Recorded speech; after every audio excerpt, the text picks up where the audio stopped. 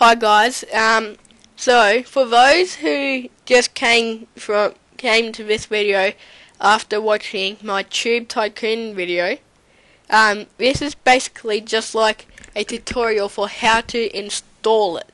So um, go to the link in that I'll put in the description, or just copy it from here, and then um, scroll down to the full bottom, and then click download now. And then here, um, it's allowing you to donate, but just say, no thanks, just take me to the downloads. And then just right here, click download.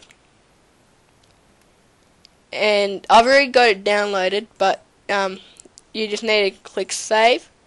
And then um, go to where it's saved, and then just click on it once, then right click and click extract all.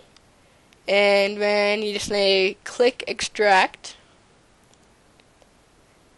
Um, but for me, just I, I just need to skip that. Um, so yeah, um, and then you'll have this folder, and like somewhere down the bottom, you'll have an application right here called Tube Tycoon. And then just double click on it and then Tube Tycoon will open. Okay? So that's how you install Tube Tycoon.